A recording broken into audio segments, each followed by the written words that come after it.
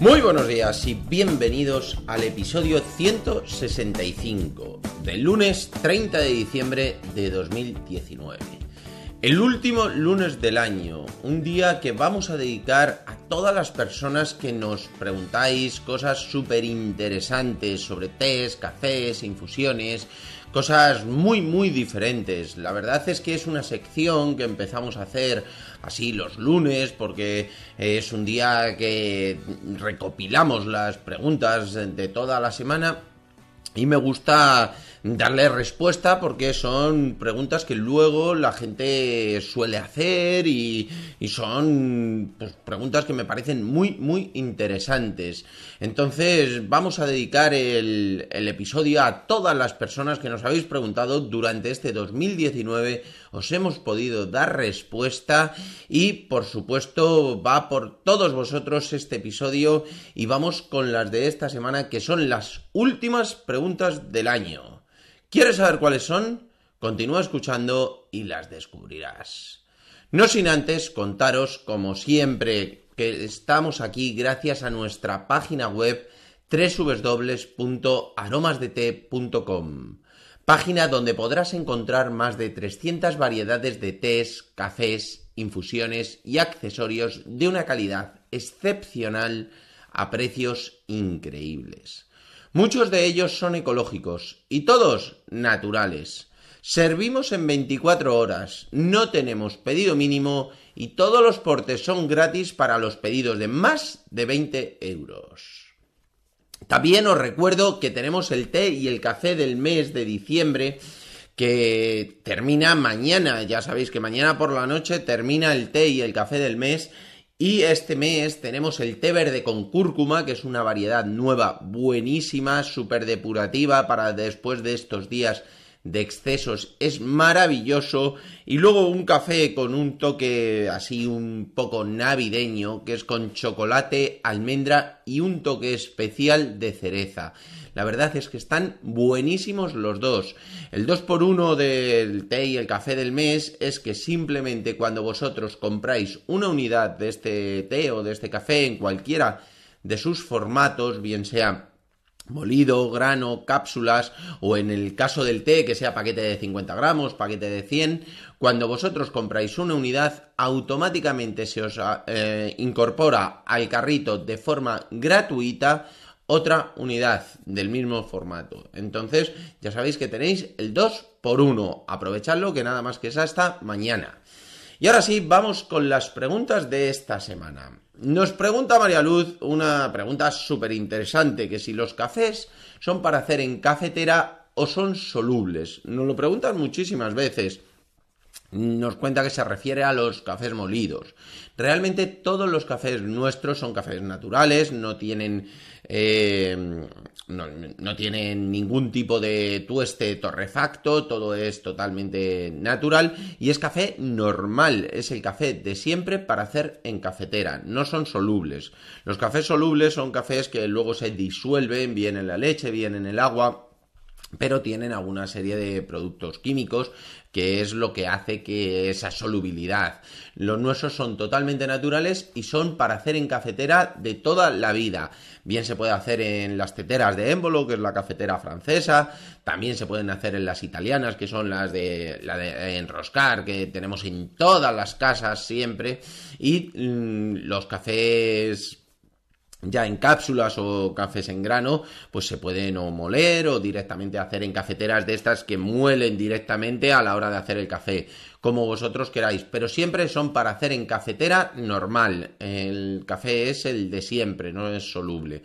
Sí que se puede utilizar para algunos dulces eh, a la hora de hacer algún bollo, algún bizcocho, se puede echar una cucharadita porque luego se esparce bien, pero no significa que sea soluble este tipo de café. También nos pregunta que si los que aparecen en grano, que cómo es el envase de 100 gramos. Todos los envases de nuestros cafés son unos botes en los cuales están herméticamente cerrados y eh, son botes que luego se pueden abrir y cerrar sin ningún problema. Van con una eh, tapita metálica para que conserve perfectamente la calidad del café. Nuestras pirámides también van en el mismo tipo de bote, a diferencia son las etiquetas. Y luego nos pregunta que si las tisaneras vienen en cajitas individuales para hacer regalos o vienen sueltas. Las tisaneras siempre van en cajitas. Eh, son cajas individuales que, que, lo que hace es que las protege sobre todo de los golpes en el transporte, cuando nosotros las llevamos a los mercados o simplemente cuando, cuando las mandamos a cada persona, siempre van en esas cajas que hacen que se protejan y que sea mucho más difícil que se puedan romper o golpear. Normalmente no pasa nada cuando nosotros las mandamos y eh, como bien decía María Luz, vienen fenomenal para luego poder hacer un regalo porque quedan muy muy bonitas. Por otro lado, también a través del chat de la web nos hacen una pregunta también muy interesante. Eh, buenas tardes, me gustaría comprar unas infusiones para tomar afrodisíacas, ya que mi marido está bastante decaído y le da miedo ese tema.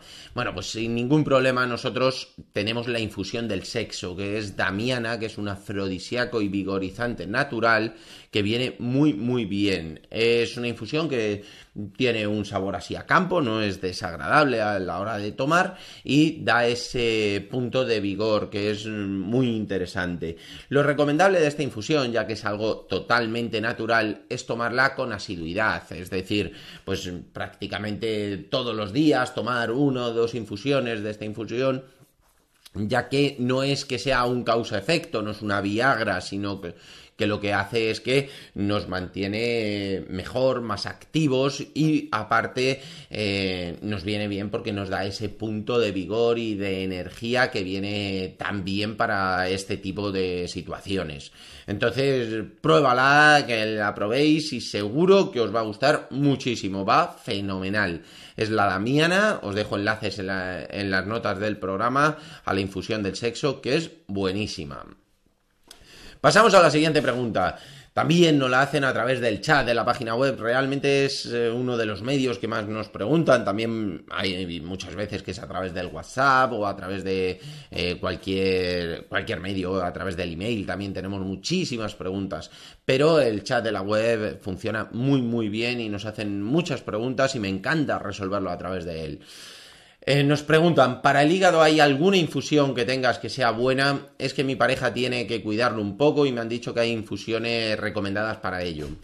A ver, personalmente te cuento, el tema de, infusiones buenas para el hígado, lo mejor es las infusiones que impiden la asimilación de grasas. Por ejemplo, el té rojo, todos los puers son buenísimos para impedir la asimilación de, grasas por parte del hígado.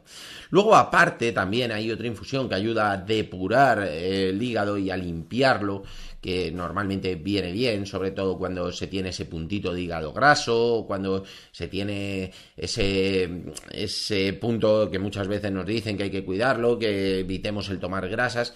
La infusión que viene muy muy bien es el boldo. También dejo enlace en las notas del programa para que lo podáis ver y lo podáis comprar directamente. Ayuda muchísimo a nuestro hígado a depurarse y a limpiarse. Va fenomenal.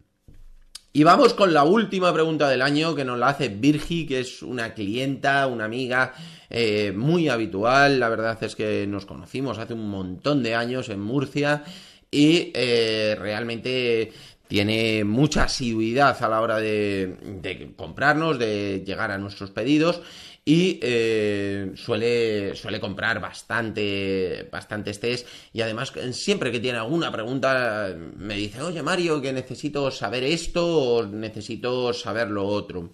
Y me dice que le gustaría saber qué cantidad de teína tiene el té amarillo.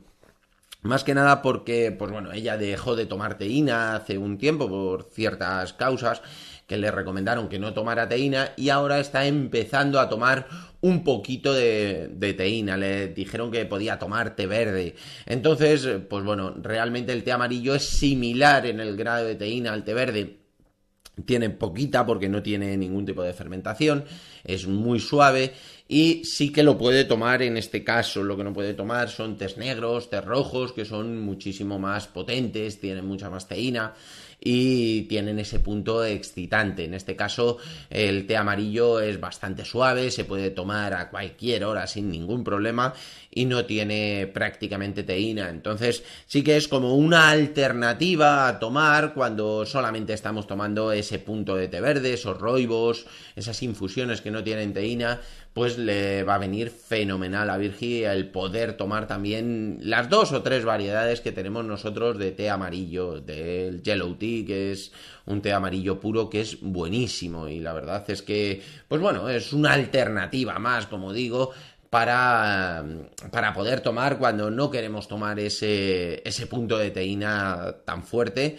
Es similar al, al punto de teína que tiene el té verde. Y nada, hasta aquí por hoy, hasta aquí este año de preguntas y respuestas que es súper interesante. Espero que os haya gustado el episodio. Ya sabéis que podéis hacernos cualquier tipo de pregunta para este espacio de los lunes, que yo estoy encantado de contestarlas. Las podéis hacer, como os digo, a través de la página web, a través del chat, a través del email, WhatsApp, lo que vosotros más cómodo sea, yo estoy encantado de, contestarlo, de responderlo y por supuesto de atenderlas aquí en esta sección de los lunes. Y nada, si es así, espero que nos lo contéis con vuestras valoraciones y comentarios sobre cualquier tema que queráis que tratemos en este podcast. Además de vuestras suscripciones en iBox, iTunes, Spotify y sobre todo muchísimas gracias por vuestra atención y dedicación, tanto aquí como en nuestra página web www.aromasdete.com. Y nada, disfrutad muchísimo del lunes, pasad una gran semana y nada, nos escuchamos mañana martes con el último episodio del año, que va a ser súper chulo. Pasad un gran día.